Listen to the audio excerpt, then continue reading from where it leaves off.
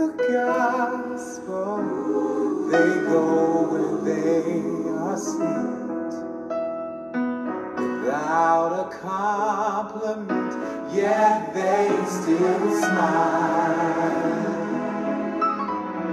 Sometimes crying inside, beautiful,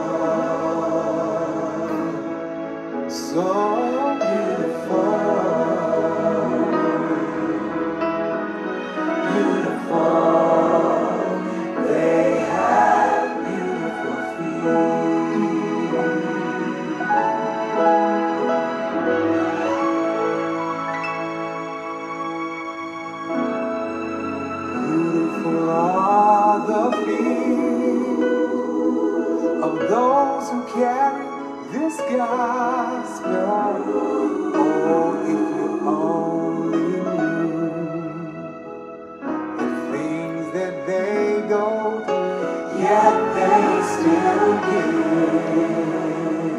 Yes, they do. They inspire others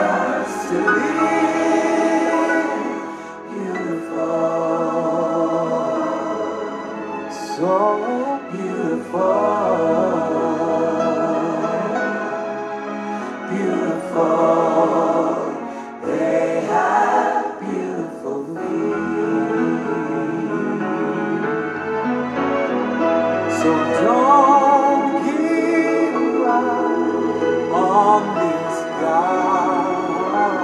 gospel.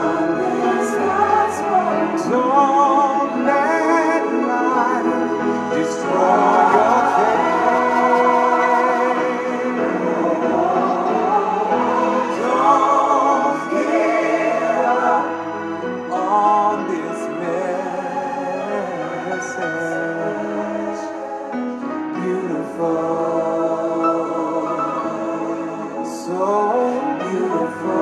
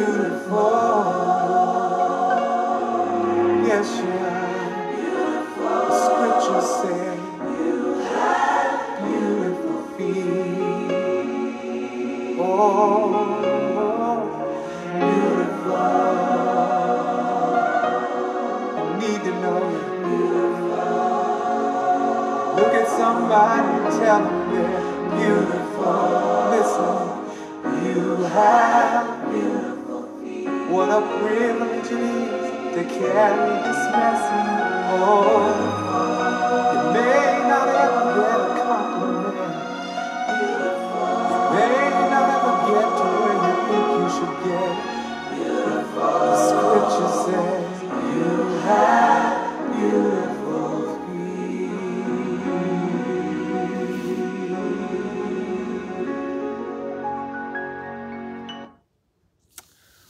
The song I just played is called Beautiful Feet, and it's by Donald Lawrence. Good morning. Good morning to, I don't know what to call you, the early birds, the early risers. God bless you that you come and you support Pastor Cindy every morning. And I would like to say welcome to those who will watch this devotional later on and later on today.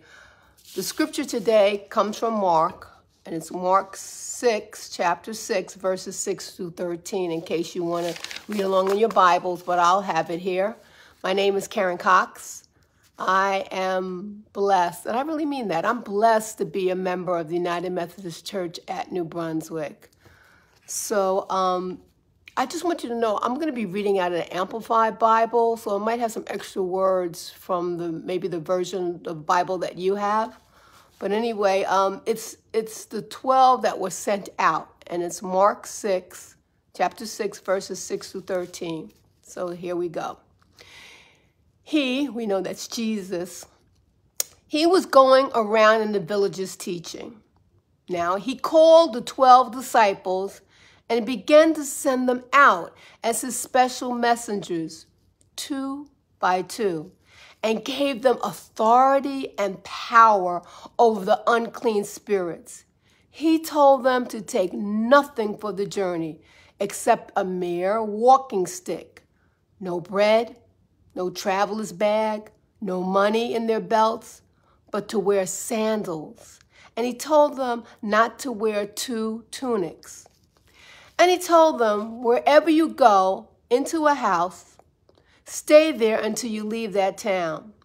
Any place that does not welcome you or listen to you, when you leave them, shake the dust off the soles of your feet as a testimony against them breaking all ties with them because they rejected my message. So they went out and preached that men should repent.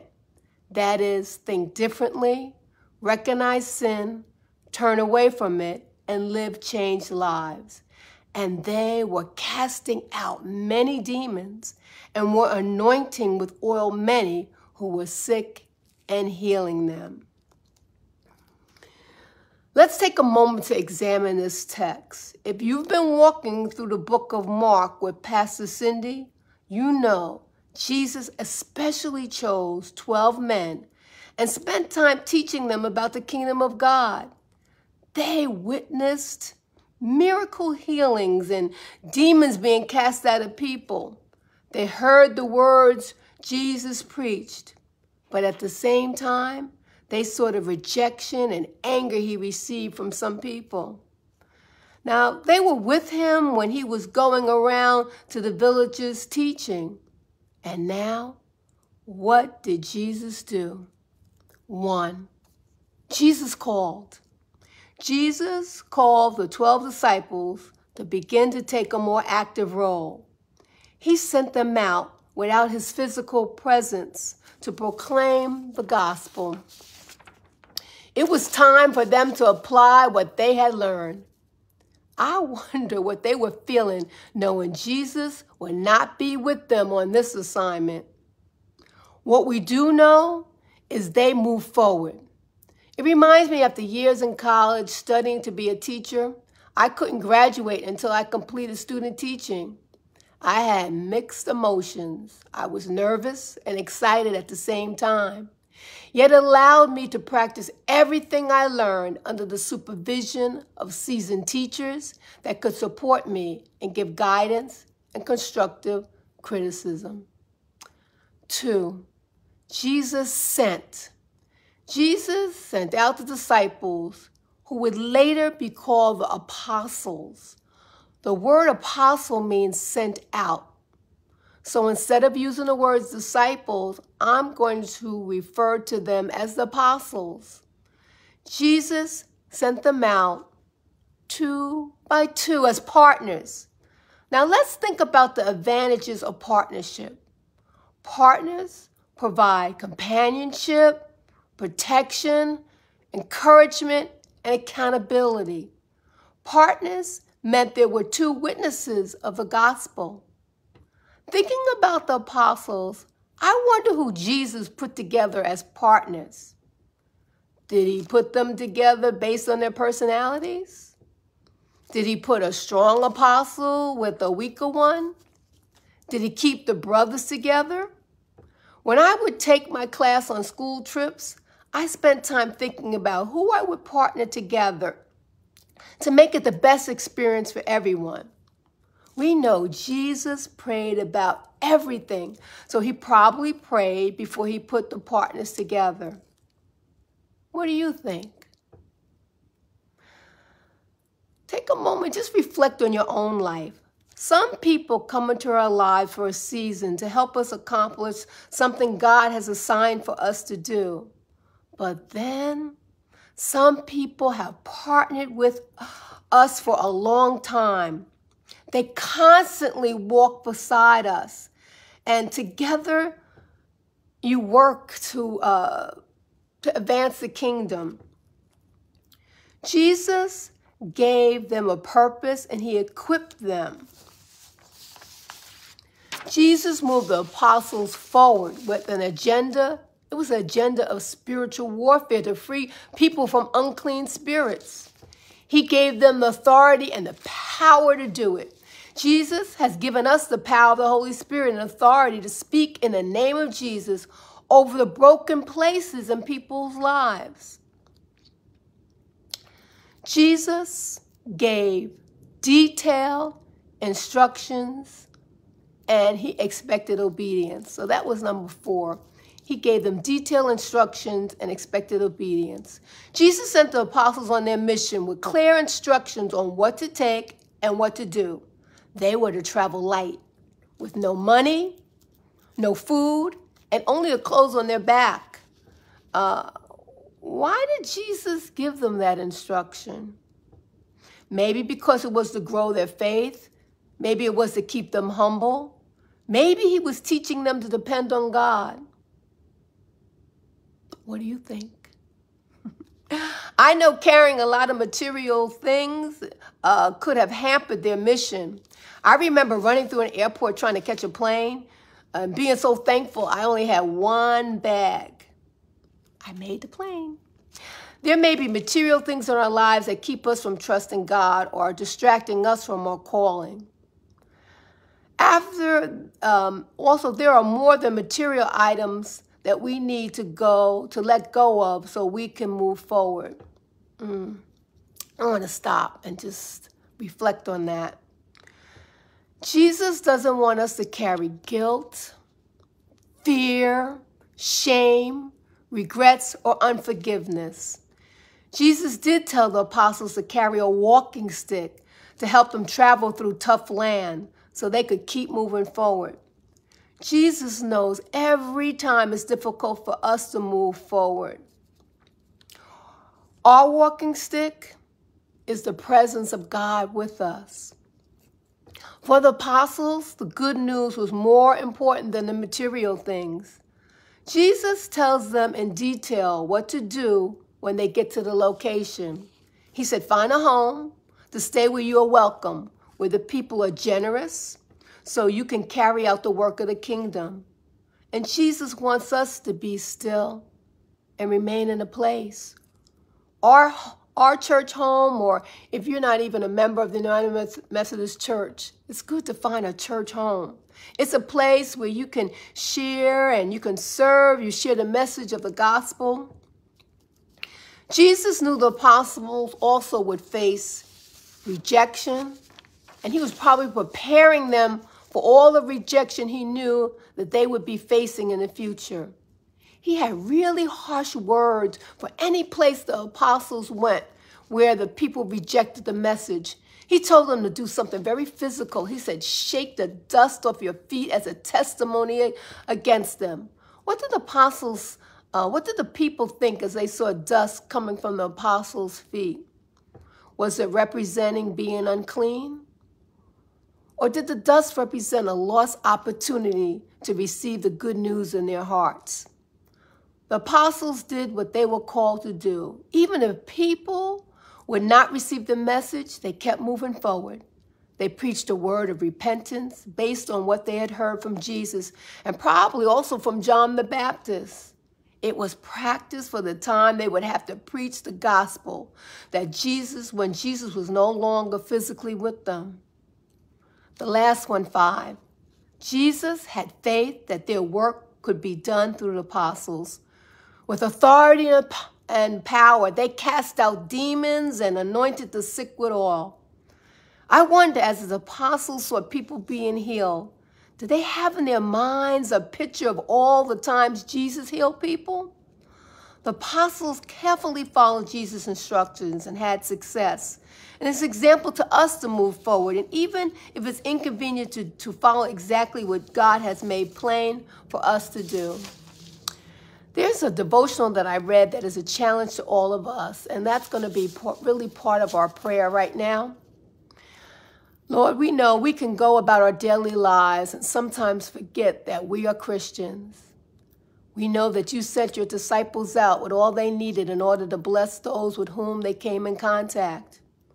Lord, we know we are in contact with different people every day of our lives. Lord, help us to testify to those with whom we come in contact, to tell them the gospel. Sometimes, Lord, we may feel as though we're not equipped to do this. But Lord, we know we have all we need to go in the world and deliver the words that you have given us. If we, offer is not accepted or welcome, Lord, help us not to stop. We should just du- shake the dust off our feet and continue casting out demons and anointing people with oil. This is what you have called us to do. God, we come to you with open hearts and and arms, and we ask you to give us the strength to go into the world and bless everyone that we come in contact with. Lord, we thank you for your peace that passes understanding, for your joy, for your hope. And Lord, we, we truly want to pass that on to others. I want to end the devotional with the scripture that's in Romans 10 15. And it says, How can they preach unless they are sent? And as it is written, how beautiful are the feet of those who bring good news. We should want to have beautiful feet. So let's take a moment and please join me with the Lord's Prayer. Our Father, who art in heaven, hallowed be thy name. Thy kingdom come, thy will be done on earth as it is in heaven. Give us this day our daily bread and forgive us our trespasses as we forgive those who trespass against us. And lead us not into temptation, but deliver us from evil. For thine is the kingdom and the power and the glory forever. Amen. So, hope you join Pastor Cindy tomorrow as she continues to travel through the book of Mark. I want to say that God loves you, and so do I. Bye.